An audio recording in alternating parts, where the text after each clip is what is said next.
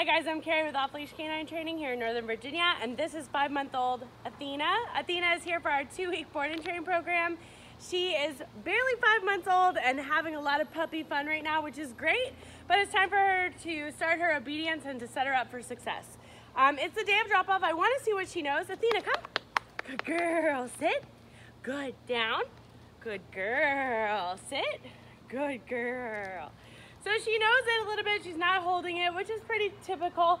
Um, sit. I know that she does it a lot for treats at home. So Athena, sit, sit, and obviously when she wants to. So after the two weeks is over, I'm going to show you her progress and show you that she can be obedient and off leash. Come on,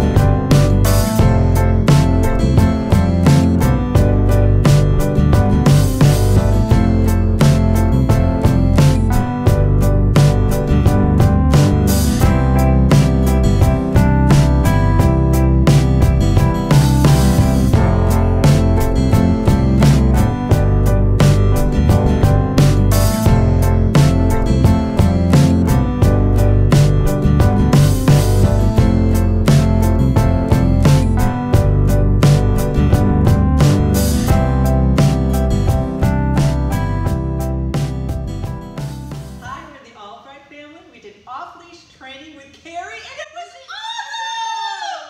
awesome! That's Athena. This is Athena, and Athena is our baby, and she's going to be a service dog for Liana, and she just completed her first round of training with Carrie, and now we're going to take her home and do our training and get her ready to be certified. We're really excited.